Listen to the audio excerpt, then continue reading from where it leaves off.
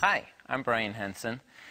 You know, comedy is really difficult. One thing that happens with comedy writers is that they are all really good at coming up with beginnings, really good setups, but they can't figure out how to pay them off. Hey, uh, hey, uh, that's nice, but you know, if you keep applauding, you won't hear my monologue.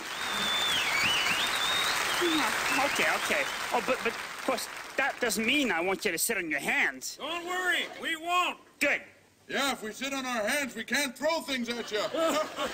Well, now I'll share with you one of the real secrets to the Muppets. What my father figured out was, you know, if you can't get out, you just either blow something up